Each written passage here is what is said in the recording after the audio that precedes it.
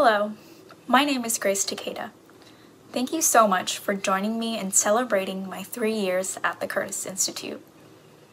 I am excited to be able to share all of these beautifully unique works with you today. My recital is based upon the idea of how composers pay tribute to other composers, traditions, and cultures. Each piece on today's program pays tribute in at least one of three of these ways. The first piece that I'll be presenting is J.S. Bach's Cello Suite Number 2 in D minor. I love this suite because it starts pensively and inward, but as the movements go by, it continues to open up and grow out of its shell, which describes the experience I've had this past year. Five out of the six movements of the second cello suite are based upon different Baroque dances. For example, the Allemande is a stately processional dance, and the Courante is a dance that includes fast running and jumping steps. The next piece is Capriccio by Henri Vieuxtemps. It is a beautifully singing and virtuosic piece for the viola and pays tribute to the early 19th century virtuoso violinist and composer Niccolo Paganini. The last piece of the first half of the program is the Quincy Porter Suite for Solo Viola, which is a fun four movement piece which follows a typical classical form of the first and third movement being of a slower tempo and the second and fourth being of a faster tempo. My favorite thing about this piece is the jazzy and also fiddle playing elements of the piece. I hope you enjoy the first half of my program.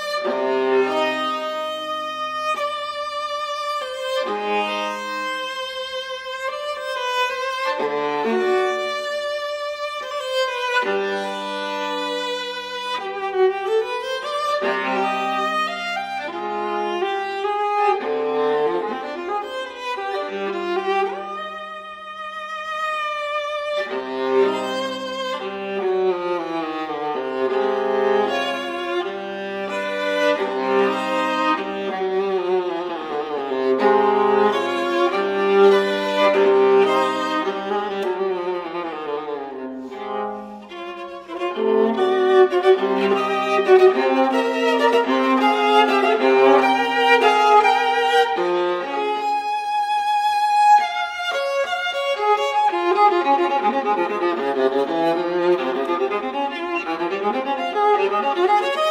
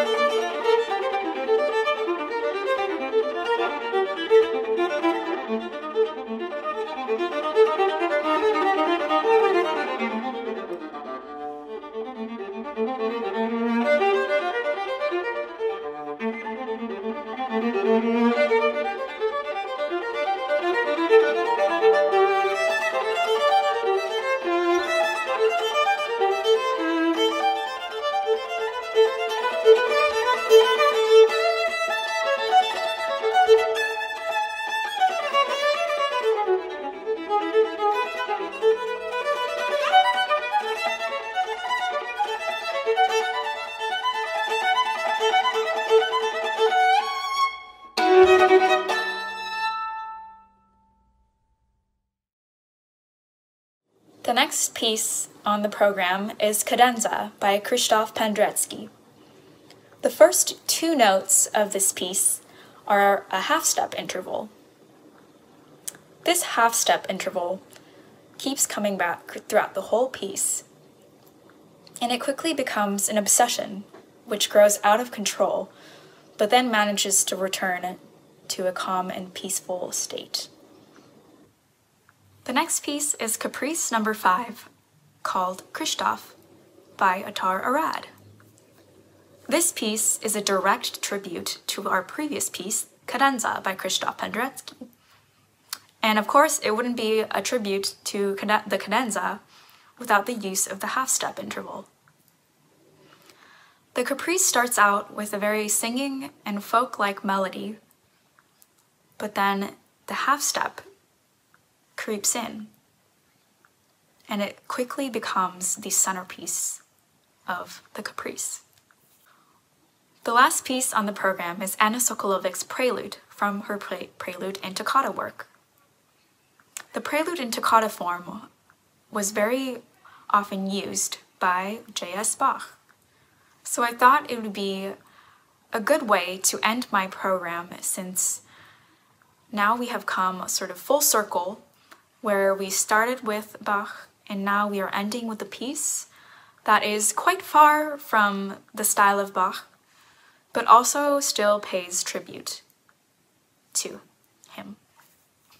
Before we start the second half, I wanted to take a moment to thank my main teacher, Mr. Diaz, who has been so encouraging and so supportive for these past three years, and especially this past year through the pandemic.